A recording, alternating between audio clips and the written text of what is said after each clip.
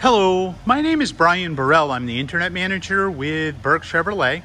Taking a walk around this 2021 Chevrolet 1500 Trail Boss in black, uh, and it does have the black uh, wheels, it does have the black bow ties.